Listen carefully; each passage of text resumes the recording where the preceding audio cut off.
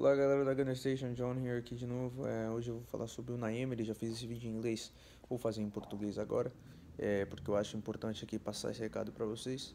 Ah, muitas pessoas não viram e queria falar sobre, como já disse, o Naemery deu a entrevista hoje e pelo visto, muito provavelmente o Ozil vai para o jogo.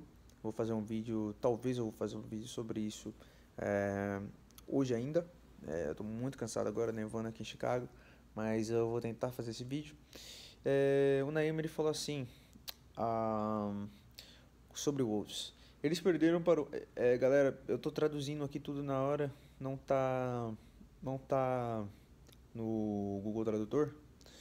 E eu tô traduzindo aqui tudo na hora, então. Se dá umas travadas é porque eu tô lendo. É, eles perderam para o, para o Everton e empataram no último minuto contra o Crystal Palace. Isso depende de cada jogo. Quem iria pensar que eles teriam ganhado no Etihad contra, contra o Manchester City? Normalmente eles não teriam. A gente tem respeito por aquele resultado contra o Manchester City com, com, e quando eles jogaram contra o Crystal Palace e quando eles jogaram contra o Newcastle. Agora a gente quer jogar e se preparar com respeito a eles em 30%, ou seja, 30% respeitando a oposição e 70% impondo nossas ideias para o jogo essa minha ideia a todo jogo. E amanhã é o mesmo. É, cara, é, o Naemery, na minha opinião, mais uma vez aqui sendo bem contraditório, mais uma vez, porque falar que ele respeita o clube 30%, 30% e ele tenta impor a ideia dele 70%, para mim é uma baita de uma contradição, porque você, você vê, é, é fácil de ver todo jogo que a gente joga, a gente não tem uma formação. A gente não sabe o que vai acontecer. A gente não sabe. Desculpa. A gente não sabe se a gente vai jogar com três a zaga. A gente não sabe se a gente vai jogar com quatro, com cinco, com seis.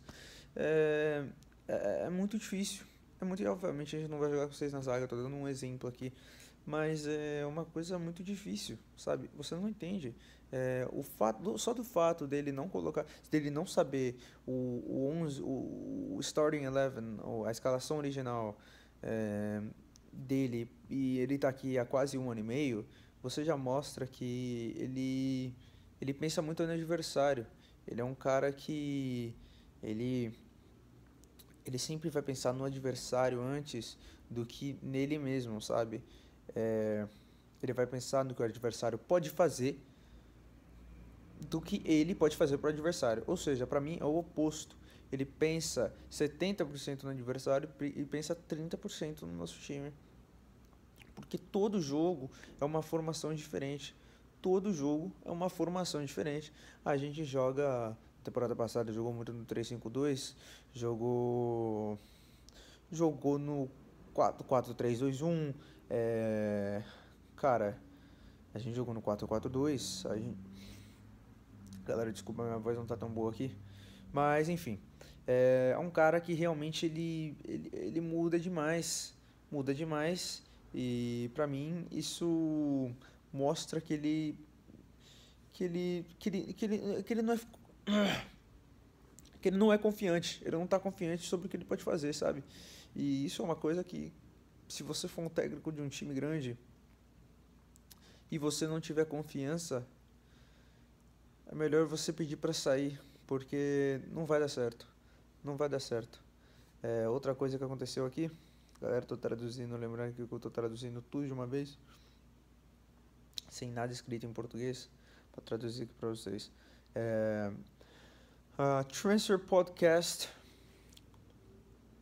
uh, entendeu que pelo menos dois representantes, agentes de, de futebol, jogadores do Arsenal, é, entraram em contrato com a hierarquia na semana passada é, para discutir o que o Naemery vem fazendo, ou seja, é, suas táticas, o que ele vem fazendo nos últimos jogos, os treinos e essas coisas. É, para você ver, cara, é, você pode ver realmente que os jogadores estão muito confusos sobre as táticas que o Nai faz. Não, não sei se vocês lembram desculpa, mas um jogo contra o Sheffield. Uh, o Aubameyang estava na direita, o Aubameyang estava na esquerda, o Aubameyang estava no meio. A gente não sabia em que posição o Alba estava.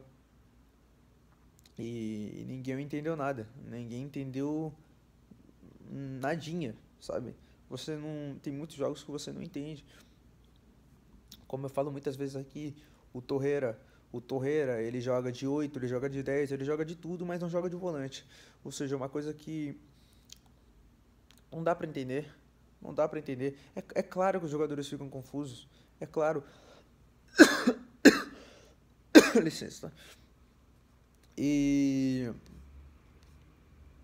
Bom, é isso, galera. É, muito provavelmente o Ozil vai para o jogo. Muito provavelmente, bom, quase 100% garantido. O que é bom para mim, Chaka não vai jogar. E eu acho que o meio de campo vai ser. É, eu acho que o meio de campo vai ser Guendouzi, Torreira e. E Ozil de meia. Acho que o Ceballos não vai jogar. É, vai entrar, né? Eu acho que o Ozil vai sair é, ao, de, ao, decorrer do jogo, da partida, e vai entrar o Ceballos. E mesmo se hoje estiver jogando muito, eu acredito que isso vai acontecer. Se ele estiver jogando mal, ele vai sair. Se ele jogar bem, ele vai sair. E é isso, galera. Ah, o Josh Kronk também, que está ali já no pé do, do Unai Emery, pelo caso do Ozil, que o Ozil não está jogando. E o Josh Kronk já se reuniu, já se reuniu com o Emery para falar sobre isso.